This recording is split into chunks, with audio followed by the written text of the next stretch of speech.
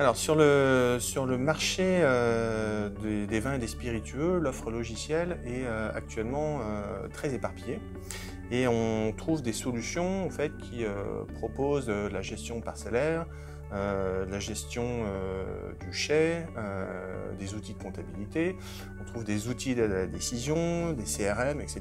Donc quand on en parle aux, viticulteurs, leur problématique souvent c'est de se dire bah voilà j'ai plein d'outils, euh, qui communiquent euh, pas forcément entre eux, ou euh, quand je dois les faire communiquer parce que toutes les informations sont liées, euh, ça nécessite à chaque fois des, euh, des, saisies supplémentaires, des manipulations de ma part. Et donc ce qu'on propose avec Equivity, c'est justement d'avoir un outil tout en un qui permet de gérer euh, toutes ces fonctionnalités pour pouvoir gérer son exploitation viticole depuis, depuis le pied de vigne jusqu'à la bouteille. Et l'objectif, c'est de le faire pour moins de 100 euros par mois sur l'ensemble de ces fonctionnalités. Et pour faire cela, donc on part du, du socle équilibre et on va les adapter à toutes les spécificités euh, de la filière vitivinicole.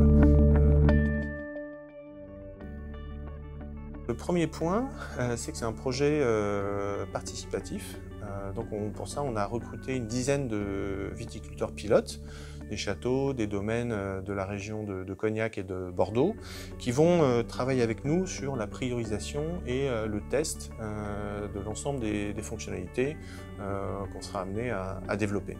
on va également collaborer avec des partenaires technologiques qui vont proposer des outils d'aide à la décision, notamment avec les partenaires de la ferme digitale, Nayo ou Winat. Deuxième point sur lequel on travaille, c'est la notion de zéro saisie. On veut limiter au maximum les saisies des utilisateurs sur la plateforme.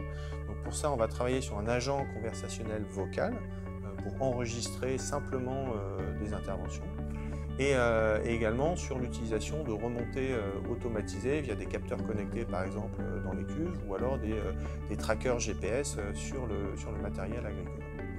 Et le troisième point, enfin, c'est via un partenariat scientifique avec Bordeaux Sciences Agro et l'INRA, euh, qui travaille sur euh, la recherche d'indicateurs de durabilité des exploitations agricoles et euh, notamment pour accompagner les viticulteurs dans leur logique de certification environnementale. Donc là, on vient de terminer le, recrutement des viticulteurs pilotes.